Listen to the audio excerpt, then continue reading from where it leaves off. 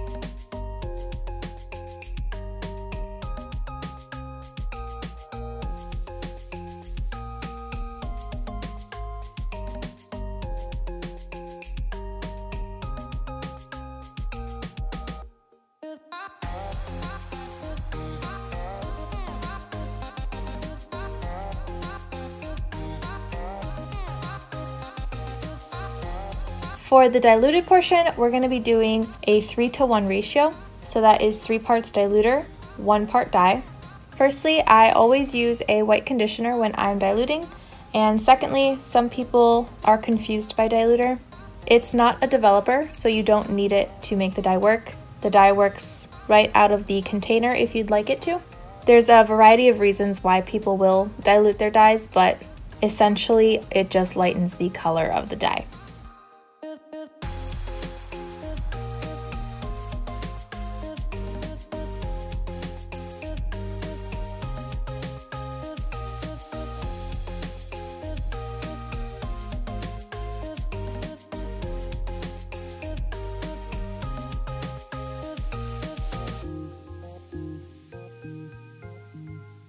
I'm gonna let these sit for about three hours. I'll rinse them out. When they're dry, I will meet you back here. So I'm surprised mostly with number one. That was the very deep blue.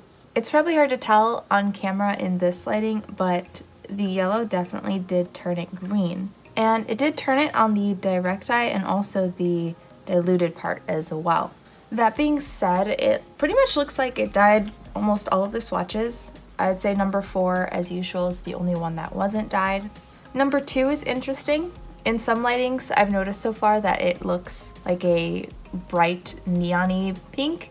And then in other lightings, like here, it looks a lot more orange. Number three still looks natural, but it looks a lot less red. There's not a huge difference with number five, but I will say that adding the yellow did seem to help kind of lighten the color a little bit. At least in my opinion, it doesn't look quite as dark as it was before.